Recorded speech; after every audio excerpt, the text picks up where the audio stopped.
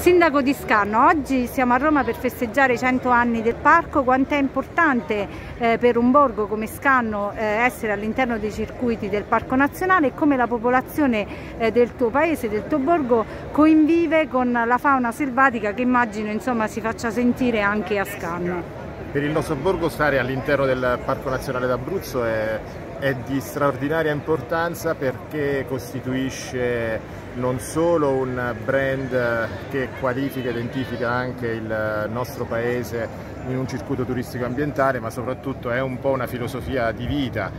Abbiamo assistito oggi all'inaugurazione di questo centenario dove in qualche modo è stata ripercorsa la storia, l'evoluzione anche di tutto quanto il parco e di come il parco ha influito anche all'interno delle, delle comunità un'economia importante, quella del turismo, che se legata all'ambiente può raggiungere dei livelli di assoluto prestigio e pregio. Le comunità convivono con eh, il parco a volte anche un po' a fatica perché eh, soprattutto poi quando c'è un eh, eccessivo eh, incedere anche della fauna selvatica si deve trovare un pochettino un limite di convivenza, però eh, dobbiamo dire che eh, c'è un'evoluzione culturale tale che il sistema si sta consolidando.